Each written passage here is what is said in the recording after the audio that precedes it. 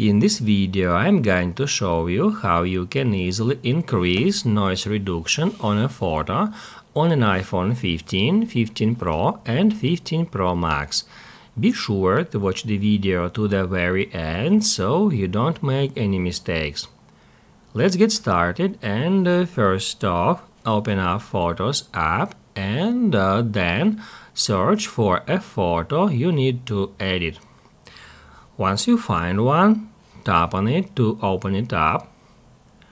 Then tap at edit to turn on edit mode and then drag this toolbar to the very left where we can easily find that noise reduction tool where we can add that effect to our picture it will uh, blur some elements on a photo to reduce the noise so you can zoom it in and in that way by moving that scale you can drag it back and forth until you find the desired level of that effect.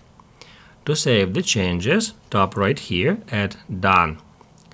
After that, if later in the future you want to reset it back to revert the photo to original, you can easily do so. Just tap at Edit, then Revert, and then revert to original. If this video helped you out, don't forget to hit the like button.